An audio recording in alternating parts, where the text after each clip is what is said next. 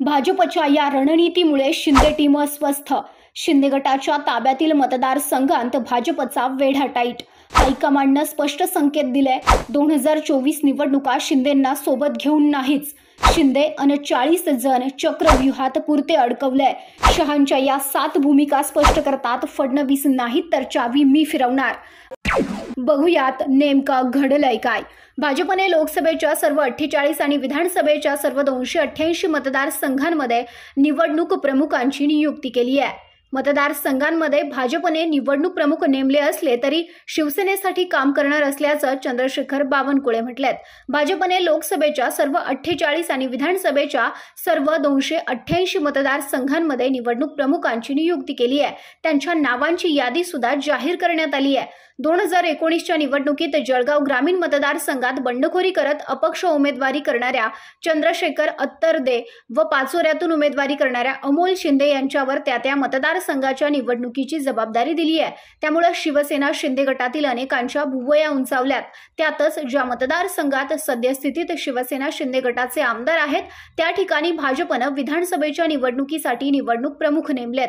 त्यामुळे भाजप स्वबळावरच निवडणूक लढवेल का असा प्रश्न निर्माण होत आहे जर मुक्ताईनगर जळगाव ग्रामीण एरंडोल पाचोरा चोपडा या जागा भाजपचा मित्रपक्ष असलेल्या शिवसेना शिंदे गटाकडे आहेत तर मग या मतदारसंघासाठी निवडणूक प्रमुख नियुक्ती करण्याची गरज काय? असाही प्रश्न आता अनेकांकडून उपस्थित होण्याची शक्यता आहे. लोकसभा मतदारसंघाच्या प्रमुखांच्या यादीत देवेंद्र फडणवीस यांचे खासगी सचिव सुमित वानखेडे यांचा समावेश करण्यात आलाय.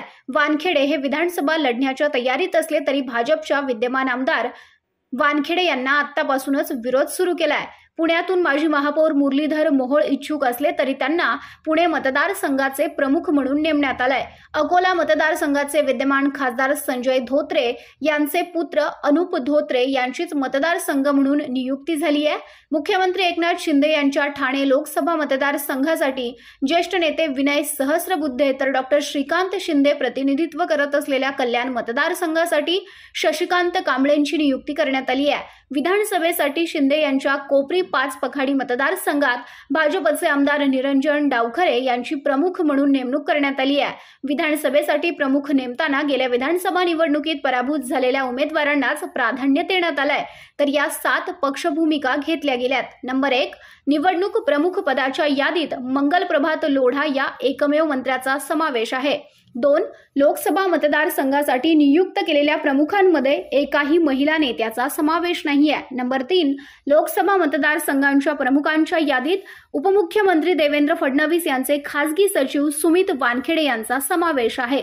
नंबर चार मुख्यमंत्री एकनाथ शिंदे यांच्या ठाणे लोकसभा मतदारसंघासाठी ज्येष्ठ नेते विनय सहस्रबुद्धे. तर नंबर पाच मुख्यमंत्र्यांचे पुत्र खासदार श्रीकांत शिंदे यांच्या कल्याण मतदारसंघासाठी शशिकांत कांबळे. नंबर सहा पक्षाच्या खासदार आमदारांशी सल्ला मसलत करूनच निवडणूक प्रमुखांची नेमणूक. नंबर सात खासदार व आमदार तसेच निवडणूक प्रमुख यांच्यात वाद होणार नाही याची पक्ष पातळीवर खबरदारी. आता भाजपच्या या रणनीतीमुळेच शिंदे टीम अस्वस्थ आहे. शिंदे गटाच्या ताब्यातील मतदारसंघात भाजपचा वेढा टाईट झालाय. हा मुद्दा आवडल्यास जरूर जास्तीत जास्त शेअर करा. असेच राजकीय व्हिडिओ बघण्यासाठी आपल्या चॅनलला सबस्क्राईब करा आणि फेसबुक पेजला फॉलो करा.